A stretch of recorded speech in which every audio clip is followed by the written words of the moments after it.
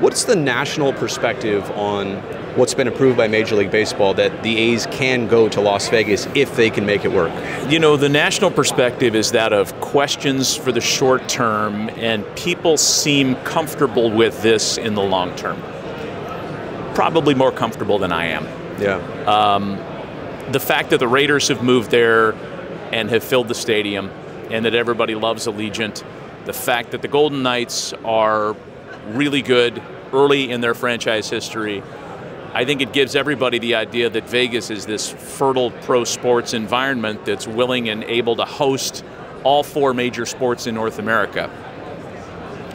I, I might be a little bit more skeptical as to endorse uh, that thought, but I think nationally people feel like Vegas is an emerging market for sports and that baseball makes sense to them there. I still have my own questions, but apparently smarter people than I have answered those questions.